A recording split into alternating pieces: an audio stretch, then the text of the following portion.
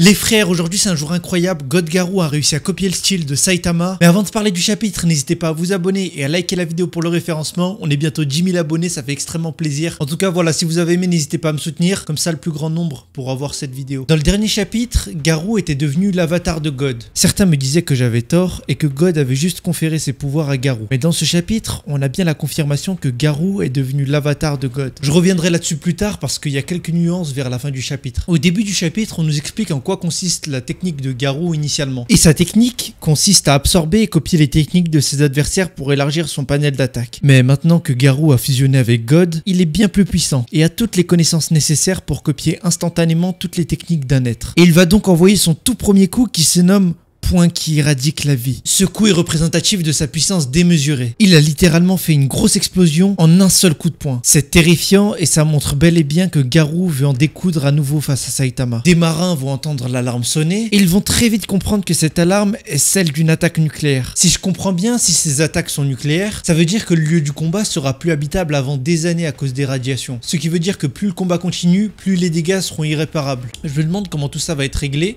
mais je pense que Blast va se mêler à tout ça. Je sais pas s'il y a un héros qui peut se permettre de remonter dans le temps ou pas, mais je le sens très très mal cette histoire avec des coups de poing, attaque nucléaire et tout. Euh, normalement, quand il y a une attaque nucléaire, on peut plus habiter dans la zone. Donc ouais, la planète est en putain de danger. Personnellement, je crois pas qu'une fois que Garou sera vaincu, que tout va rentrer dans l'ordre. Bien au contraire, la Terre est bien trop amochée pour se remettre de ce combat composé d'attaques nucléaires. On va voir Psycho qui va être étonné de voir ses attaques. Elle va bien vite reconnaître que ces attaques viennent de God car l'empereur SDF produisait les mêmes boules d'énergie. Mais cette fois-ci, elles sont bien plus massives. Et comme je l'ai dit précédemment, chacune de ces attaques vont déclencher des champignons nucléaires. Exactement les mêmes que celles des bombes nucléaires comme Hiroshima ou Nagasaki. Et c'est la première fois que je vois ça, mais l'auteur il a mis un gif dans son chapitre dans lequel on peut voir Saitama et God Garou se battre. Personne parmi les héros va réussir à distinguer Saitama qui se bat à travers toute cette fumée, mis à part Genos. Et enfin on va voir Saitama qui est en train de se plaindre parce que Garou a détruit son costume de héros. God Garou va pas comprendre pourquoi Saitama s'inquiète pour ses vêtements, mais pas pour sa vie. Il va essayer de mettre un coup de pression à Saitama en lui disant qu'il arrive à voir tous ses mouvements.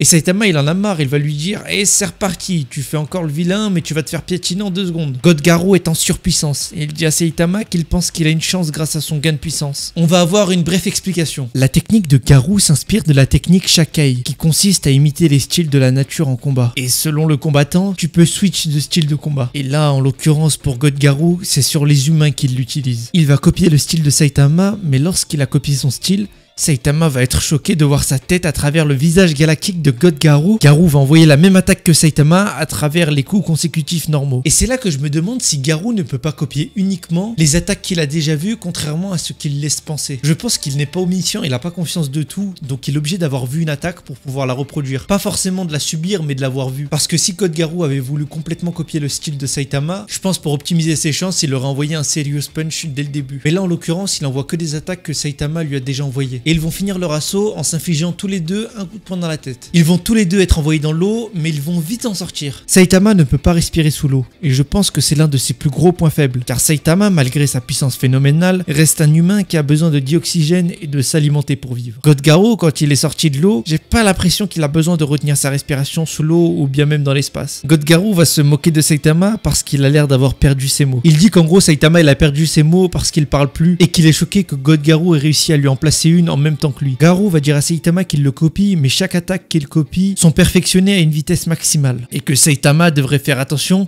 parce que la copie peut vite rattraper l'original. Saitama n'a pas l'air blessé et va dire à Garou qu'il ne se donne pas à fond car il a fait une promesse au gamin. La promesse qui, je le rappelle, était de vaincre Garou sans le tuer. God Garou va rigoler parce que Saitama est face à un potentiel danger qui pourrait le vaincre, toujours selon God Garou. Hein. Il s'inquiète d'une promesse qu'il a faite à un gamin. God Garou va dire à Saitama que lui aussi avait dit au gosse qu'il montrerait à quel point les héros sont impuissant face à la menace qu'est Garou. Et donc suite à ça, Garou va préparer son attaque qui est censée éradiquer la vie. Mais Saitama, par la peur que la Terre soit détruite, va sauter pour que le coup aille vers le ciel et non le sol. Mais Garou il est trop con, il va croire que Saitama veut éviter l'attaque en sautant. Et on va avoir vite fait un explicatif de l'attaque, et apparemment ce serait l'explosion d'une étoile qui est l'explosion la plus puissante jamais découverte par l'homme. Les héros n'ont pas l'air de comprendre le degré de menace que représente le combat. BG Masqué a pas l'air de comprendre l'ampleur de la situation, puisqu'il va demander à Flashy Flash pourquoi il traîne avec un monstre qui est aussi dangereux que Bob dans Monstre et compagnie, sérieux. Garou va se manifester devant tous les héros pour voir leur réaction. Et comme il s'y attendait, tous les héros vont être terrifiés devant God Garou qui était finalement l'auteur de tout ce grabuge. Tout le monde va se rendre compte que God Garou est largement au-dessus d'eux. Même Flashy Flash sait que sa vitesse ne sera pas suffisante pour s'enfuir. Garou a réussi à devenir le symbole de la peur qu'il a toujours voulu incarner. Celui qui fait peur même face aux héros qui sont censés gagner à la fin de chaque comique. God Garou va se tourner vers le ciel et dire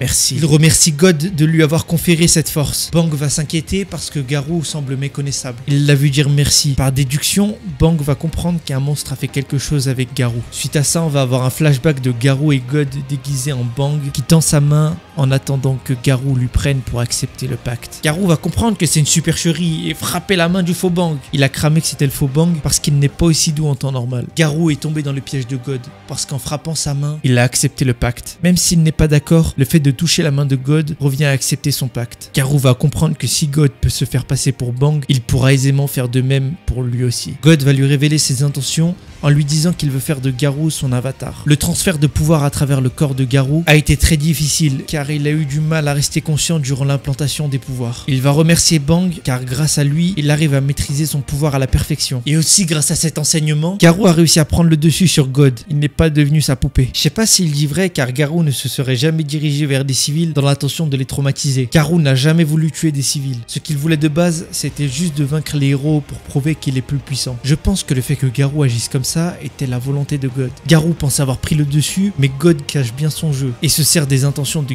Comme un tremplin pour faire le mal. Garou est l'instrument de God à son insu. N'hésitez pas à me dire ce que vous en avez pensé de ce chapitre. Il est vraiment rempli de bonnes idées pour la suite. Dans le prochain chapitre, je pense que Saitama va se relever et attaquer God Garou jusqu'à ce qu'il soit vaincu, mais pas mort. Je pense que Saitama va faire en sorte que le combat se déroule dans l'espace parce que s'il le fait sur Terre, ça va faire bien trop de dégâts. Mais s'il le fait dans l'espace, il aura la contrainte de l'oxygène comme je l'ai dit et il va devoir vite en finir avec ce combat. Pour moi, c'est la meilleure chose à faire en tant qu'héros. Dans les prochains jours, je vais faire une vidéo sur un manga qui m'a touché au plus profond de mon cœur et qui m'a donné des putains d'ambition. Ce manga, c'est Time Shadow. Je compte sur vous, soyez bien au rendez-vous pour la vidéo sur Time Shadow. Franchement, je pense que je vais vous donner envie de regarder l'anime et peut-être même lire le manga. N'hésitez pas à vous abonner et à liker. On est bientôt 10 000 abonnés. C'était Kiyoshi. Ciao